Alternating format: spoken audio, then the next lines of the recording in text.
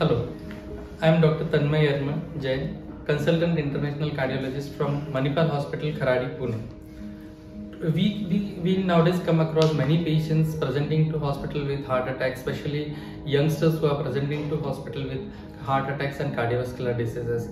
And of course, we all are aware that uh, cardiovascular disease is one of the highest risk factor uh, or major diseases leading to high mortality rates in uh, overall in world. So uh, let's uh, try to understand there what is what are cardiovascular diseases and what are the major risk factors that leads to cardiovascular diseases.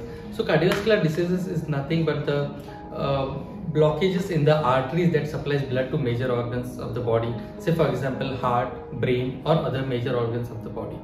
So uh, what are the risk factors that uh, that leads to these diseases and uh, present the patient with uh, cardiac diseases?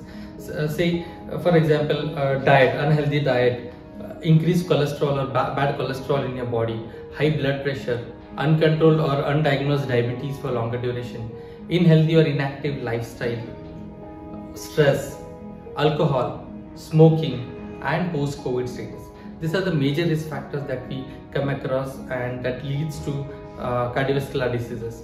So uh, what we need to do is keep a check on all these risk factors in our day-to-day -day life, uh, say once in a year, and make sure that all these risk factors are into correct check. The most important of these are the smoking, which we nowadays see in youngsters. Uh, many people do have a habit of smoking, which is one of the major risk factors can be that can be avoided. Other is stress. Everybody has stress in life, but it's all about how do we manage your stress. So management of stress is very important, and of course, in healthy uh, diet and lifestyle, say for example, sedentary lifestyle or in unhealthy diet, more in carbs and fats leads to increased cholesterol and uh, of course cardiovascular disease. So we need to have a low carb, low fats and more proteins and fibers in your diet in a day-to-day -day practice and uh, exercise is one of the important, most important thing that can keep yourself and your heart healthy and fit.